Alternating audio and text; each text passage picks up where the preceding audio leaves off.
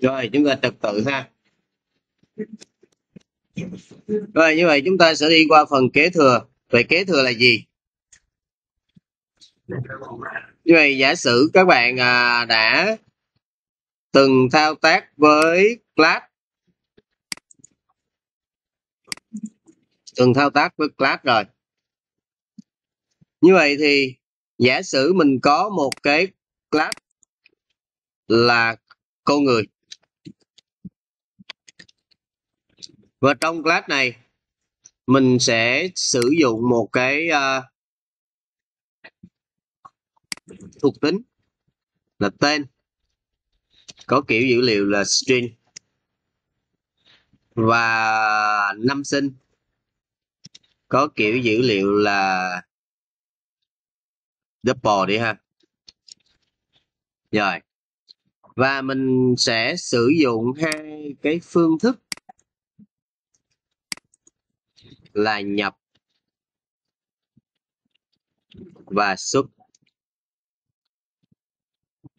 như vậy thì phương thức này của mình nhập thì cũng chỉ nhập hai cái thuộc tính này thôi. Xuất cũng xuất hai thuộc tính này. Đó là về class cô người. Bây giờ, đối với lại một cái class là sinh viên. Sinh viên thì chúng ta có cái gì? Nếu mà sinh viên thì chúng ta có tên không? Có. Thì cái này tương ứng. Sinh viên cũng có, năm sinh. Thì cái này tương ứng. Vậy có tên, có năm sinh, vậy có cần nhập không? Cũng có luôn. Vậy tương ứng. Tương ứng. Nếu như bạn có một cái class là sinh viên mà mình tự tạo mới hoàn toàn thì mình cũng làm lại những công việc giống như thế này. Những công việc này mình phải làm lại.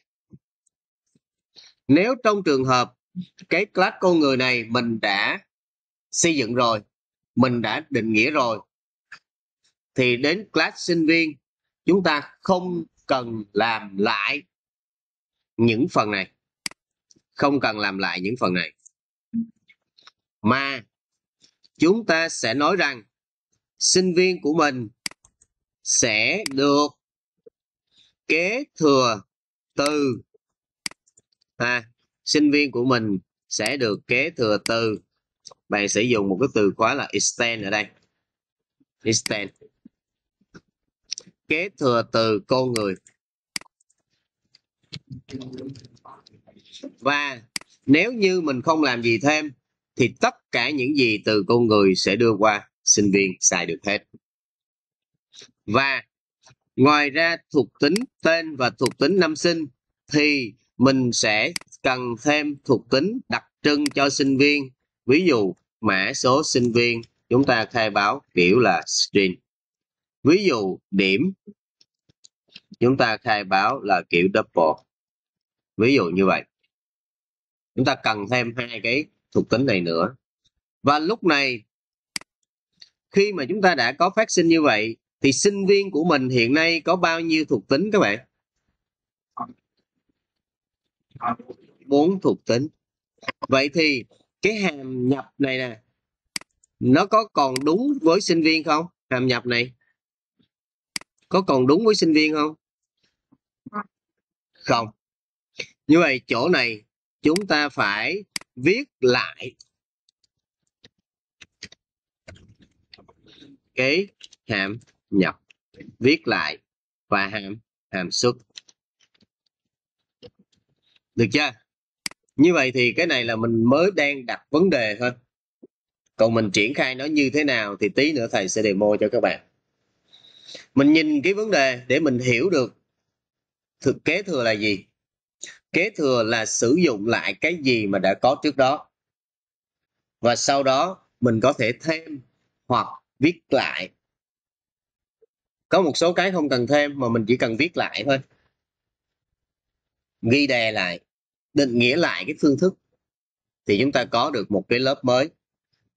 Tại vì mình đang demo con người hoặc sinh viên, mình thấy nó chỉ có tên và năm sinh, thì các bạn có thể nói rằng, ủa, vậy thôi sinh viên mình viết lại cho rồi, cho nó nhanh, kế thừa chi cho mệt.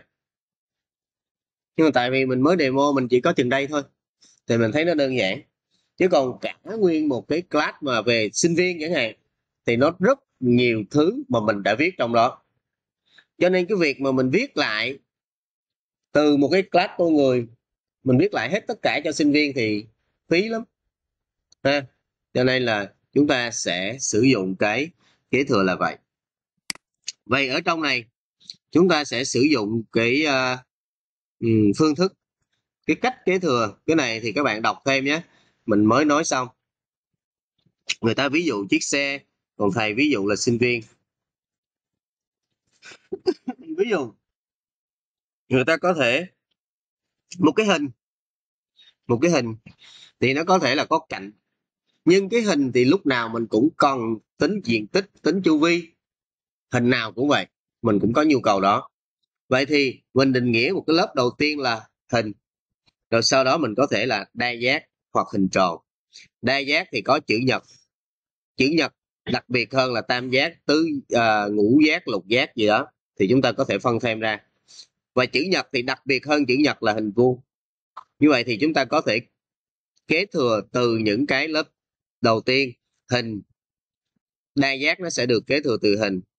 Chữ nhật kế thừa từ đa giác hình vuông kế thừa từ chữ nhật.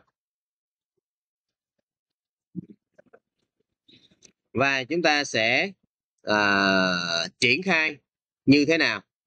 Ở đây là các bạn đang đang thấy là uh, sử dụng cái code và bây giờ thầy demo luôn.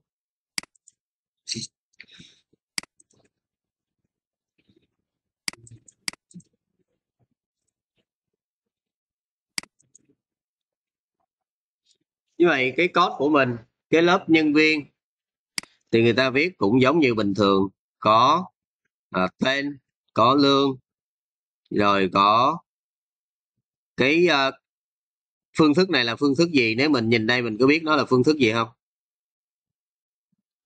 Nhân viên string họ tên double lương nó là phương thức gì?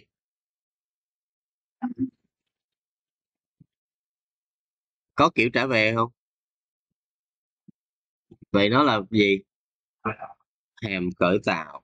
Nhớ ha contraction nếu nó có kiểu trở về, thì nó mới là cái phương thức mà mình viết ra. Còn không thì nó là hàm khởi tạo contraction thực ra nó cũng là phương thức thôi, nhưng mà người ta lấy một cái tên riêng đặt cho nó là hàm khởi tạo. Rồi, chúng ta sẽ nêu một cái project mới.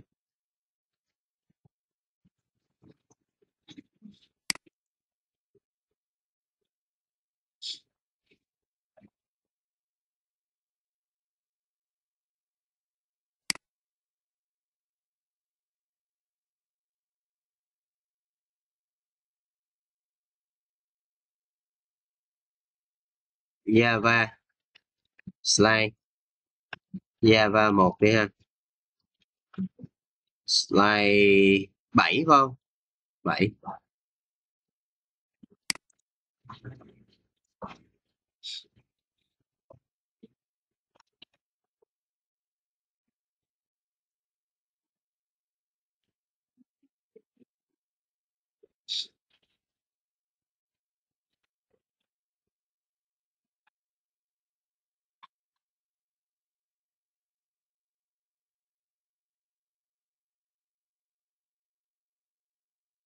rồi chỗ này chúng ta sẽ uh, Java 1 slide 7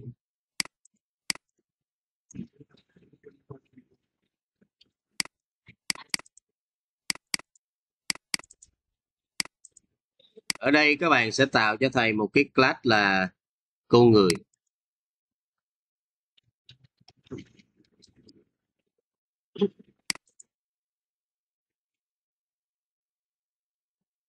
Trong class này, chúng ta sẽ có hai thuộc tính. Chúng ta mới nói nãy xong là tên kiểu dữ liệu là string. Và kiểu dữ liệu tiếp theo là năm sinh. Rồi, một cái nữa, chúng ta cần đến là cái phương thức nhập. Phương thức nhập của chúng ta và một cái phương thức là xuất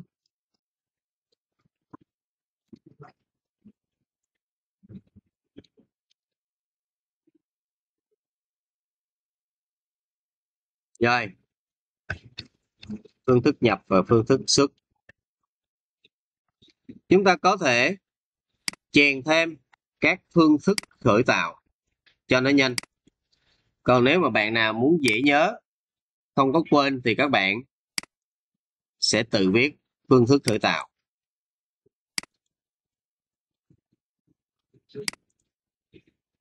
Mình sẽ sử dụng một phương thức khởi tạo là không có không có đối số và một phương thức khởi tạo là có đối số.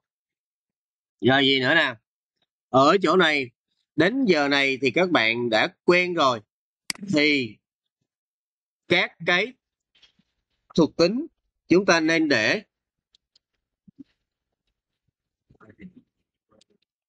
private, ha? Các thuộc tính chúng ta nên để private. Tại vì sao? Tại vì thực ra các thuộc tính này chúng ta không nên chia sẻ ra bên ngoài. Khi các bạn viết class mà khi các bạn đi làm cũng vậy, không nên chia sẻ ra bên ngoài. Tất cả những cái gì mà thao tác thì chúng ta thao tác qua phương thức hết. Như vậy để thao tác qua phương thức thì chúng ta có thể cần phải có thêm các phương thức gì? Get và set. Get và set. Rồi, như vậy là tạm thời đối với lại phương thức này, chúng ta đã đã có thể sử dụng được. Vậy chúng ta thêm chỗ này chút xíu. Nhập.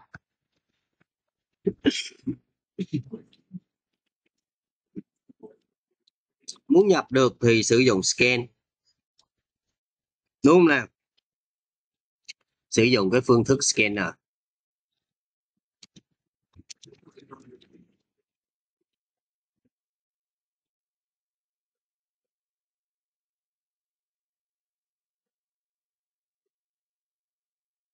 Rồi, chúng ta có scanner. Và chúng ta sẽ xuất ra một cái câu là nhập họ tên.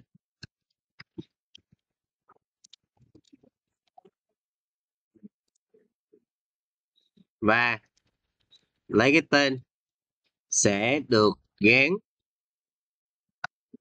bằng scan chấm netline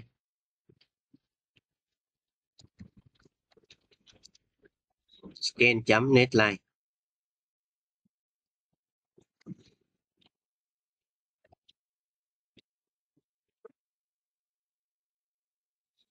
rồi, đến nữa. Chúng ta sẽ có nhập năm sinh.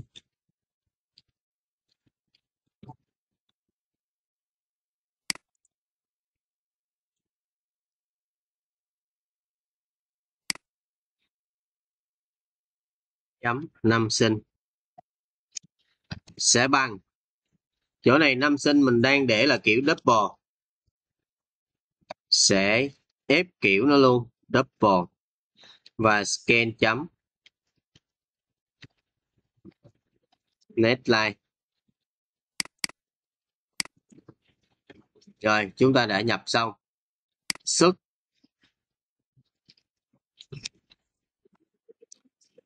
Các bạn sẽ dùng xuất. Họ tên. Hai chấm cộng với chấm tên. Cộng với à, siệt n năm sinh. Cộng với this chấm năm sinh rồi ok ha. Rồi như vậy mình đã có nhập và xuất mình viết cơ bản vậy thôi. Bây giờ ở đây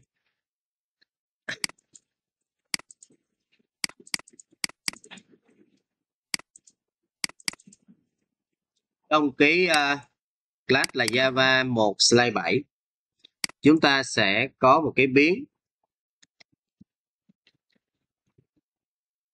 Và chúng ta lấy một cái class là con người. Và biến là cn đi ha. Bằng new con người.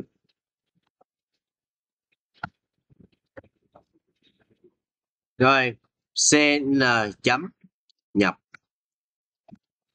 Cn chấm xuất. Chạy thử.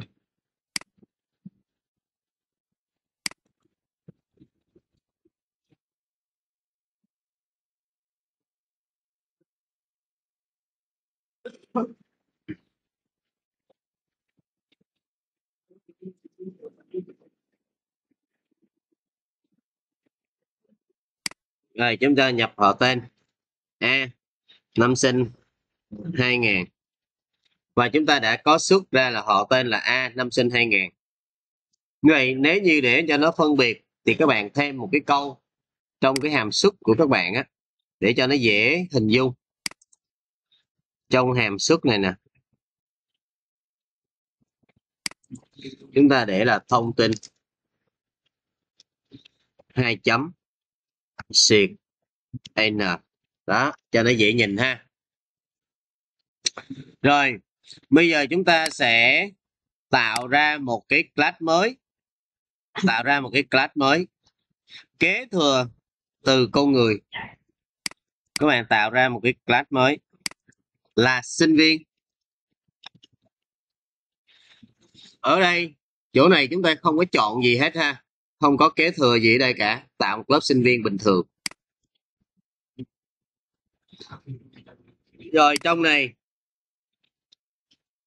ngay tại đây, các bạn mới dùng từ khóa là extend. Extend, con người. Rồi, hết.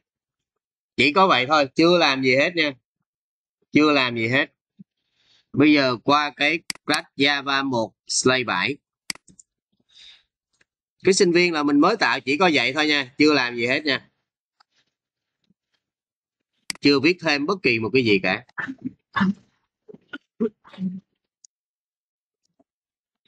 Sẽ tạo cho thầy một cái biến là sinh viên. SV bằng new sinh viên. Rồi SV chấm. Nhập. Có luôn. Mặc dù hồi nãy mình chưa làm gì hết. SV chấm. Xuất. Có luôn. Rồi, chạy lại chương trình. Bây giờ con người là mình biết rồi ha. Mình bỏ qua, mình không chạy lại nữa. Bây giờ mình chạy cái sinh viên.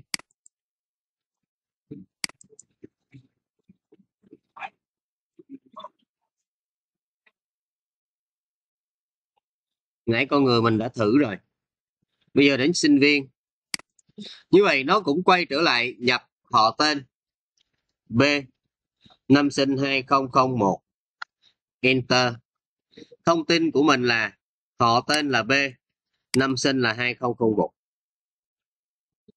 chưa viết gì hết. Vẫn xài được bình thường. Như vậy đấy gọi là kế thừa.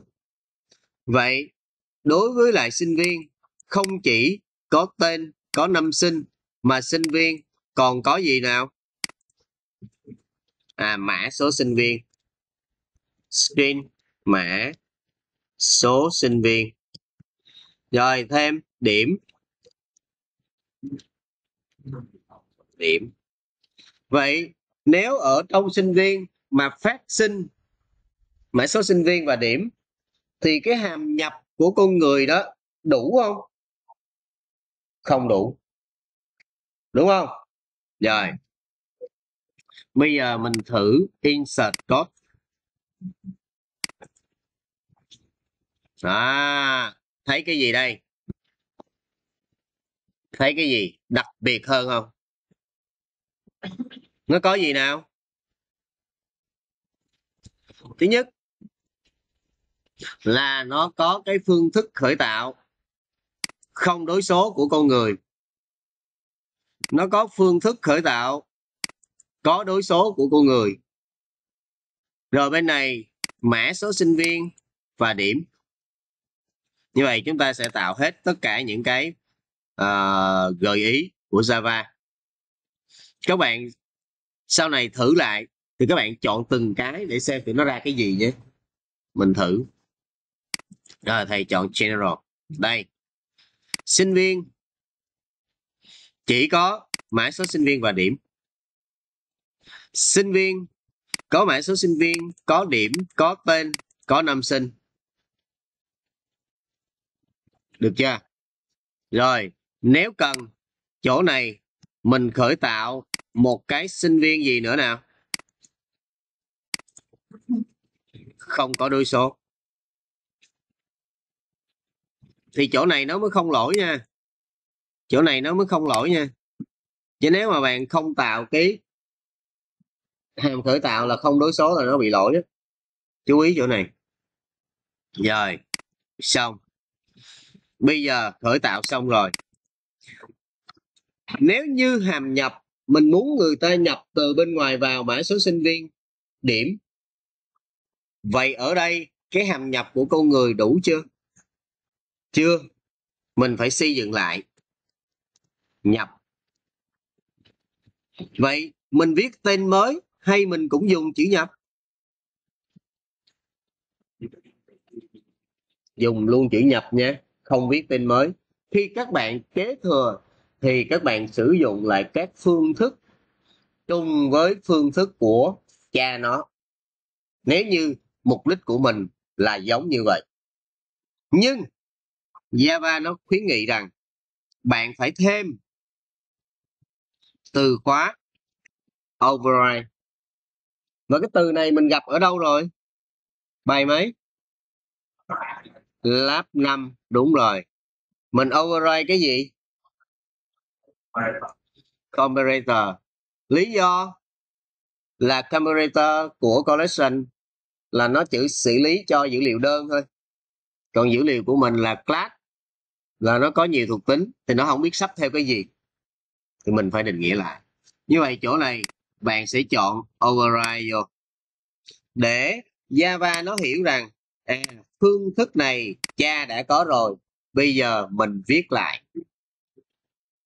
Vậy chỗ này tên và năm sinh đã được nhập chưa? Rồi đó. Nhưng mà làm sao để sử dụng đấy?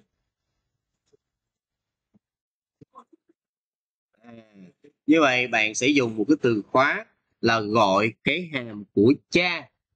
Gọi hàm của cha. Bạn dùng từ super. Ha, super. Cái này là gọi hàm của cha. Nhập. Ở đây cũng nhập. Ở đây cũng nhập. Nhưng mà nhập này là nhập của sinh viên, của con. Còn nhập này là nhập của cha, của lớp con người bởi vì nó có chữ super phía trước. Ha, như vậy thì cái hàm nhập này chỉ cho mình nhập được gì? Tên với năm sinh thôi. Còn mã số sinh viên với lại điểm là chưa có. Vậy thì lúc này mình sẽ mượn cái đoạn code này mình viết cho nó nhanh. Đúng không? Mình cũng viết vậy thôi, mình kề ca chỉ cho nó lâu. Rồi, sinh viên, mình viết thêm cái đoạn code nhập gì nào? Nhập uh, chỗ này không phải tên mà là mã số sinh viên. Chỗ này không phải là nhập họ tên nữa mà nhập mã số sinh viên. Rồi xuống đây nhập điểm. Điểm chỗ này không phải là năm sinh mà là điểm. Rồi tương tự như vậy mình đã viết xong cái phần nhập dùng từ khóa là super chấm nhập để gọi lại là nhập tên với nhập năm sinh. Ok. Tiếp tục. Chúng ta sẽ có hàm xuất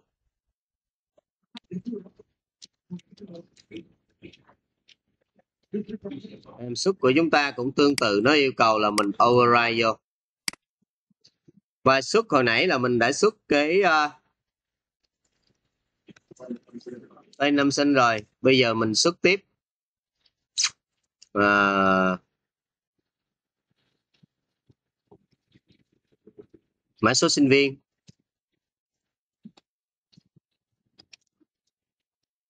Cộng với mã số sinh viên. Cộng với siệt n. Điểm cộng với điểm tên năm sinh.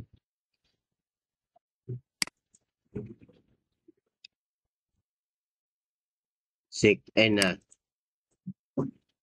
Rồi, đủ chưa? Đủ chưa? Thiếu gì không? Thiếu gì? À thiếu super chấm xuất thiếu super chăm xuất rồi, qua đây. Java, mình chạy lại cái sinh viên. Cũng chỉ vậy thôi, không thay đổi gì hết, cũng gọi là sinh viên chấm nhập và sinh viên chấm xuất. Lúc này họ tên a, năm sinh. Và nó có thêm mã số sinh viên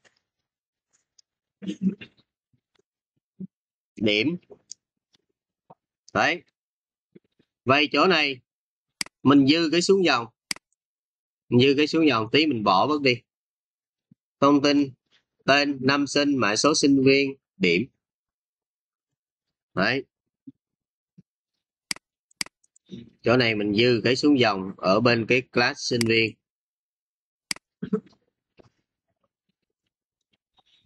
Rồi như vậy thì chúng ta đã có kế thừa đã có xây dựng lại các, à, xây dựng lại các phương thức đã tồn tại